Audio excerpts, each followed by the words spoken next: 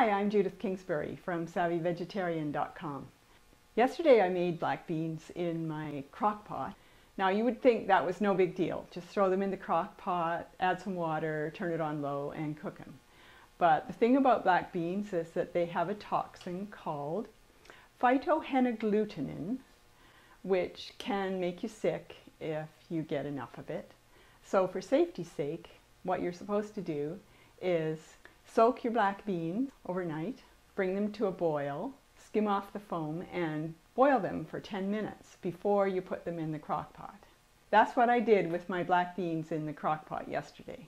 And they only took about three hours to cook that way. Now I've cooked black beans in the slow cooker.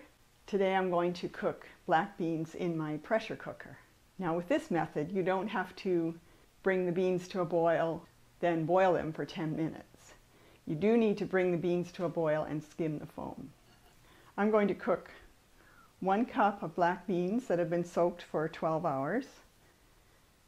Add those to my pressure cooker. Then I'm going to add a piece of kombu seaweed, also known as kelp. What that does is it adds a little salt and it adds a lot of vitamins and minerals, but it also helps to prevent gas.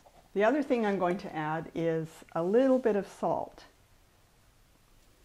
Now I know that you are not supposed to, to add salt to beans because supposedly it makes them tough, but that's actually not true.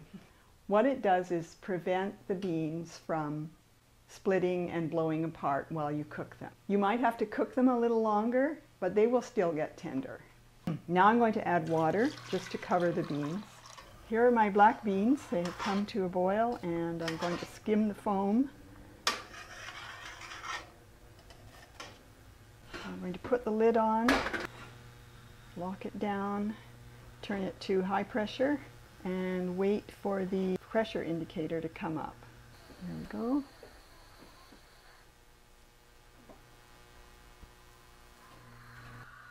Now I'm going to set the timer for six minutes. There's the timer for my black beans. Turn off the burner and let the pressure come down naturally. I'm just going to open the lid and see if my beans are all cooked. They look good. Let's try one out. Yeah, perfect. So that was cooked in the pressure cooker after 12 hours of soaking with a piece of kombu seaweed and about a quarter teaspoon of salt and no phytohemagglutinin.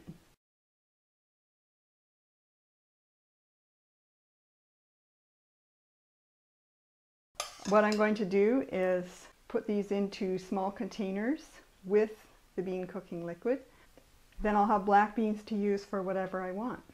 I can make refried beans with them, black bean quesadillas, black bean soup, quinoa black bean salad. Oh, on and on. Yay, black beans. Thank you for joining me while I cooked black beans and see you next time.